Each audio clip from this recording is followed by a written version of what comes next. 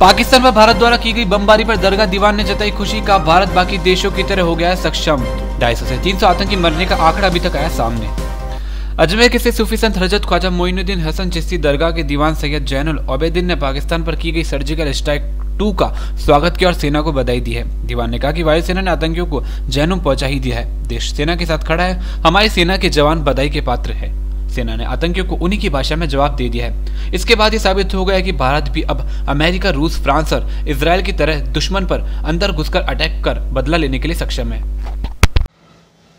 आज सवेरे early morning साढ़े तीन और साढ़े चार के बीच में भारत की फौज ने जिस तरीके से स्ट्राइक करके अपने विमानों के ज़रिए उन आतंकवादी कैंपों को ध्वस्त किया है और जो इतने आतंकवादी उसके अंदर थे उनको जहन्नम नसीब किया।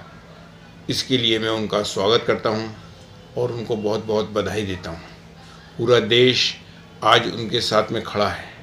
इसके अलावा जो 45 आदमी हमारे जवान शहीद हुए थे आतंकवादी घटना के अंदर उनको कम से कम थोड़ा बहुत सुकून मिला होगा इससे और विश्वास जगा होगा।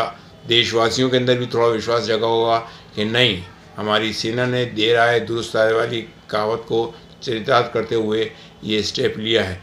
इसके लिए वो बधाई के पात्र हैं। इनके अलावा तमाम मुल्क जो है, वो हमारी तीनों सेनाओं के साथ में कंधे से कंधा मिला करके सीना तान के खड़ा है और उम्मीद करता है कि आइंदा भी इस कस्म के जो ये आतंकवादी घटनाएँ घटित होंगी, उनको उन घटनाओं के तहत उन आतंकवादियों को उनकी भाषा में जवाब दिया जाएगा। इससे ये जो एयर अटैक हुआ है इससे एक बात तो साबित हो गई है पूरे विश्व के अंदर कि अमेरिका रू, रूस फ्रांस इसराइल के बाद में भारत भी उन श्रेणियों में खड़ा हो गया है कि ये भी अंदर घुस करके एयर अटैक करके अपने उसका बदला लेने के अंदर सक्षम है।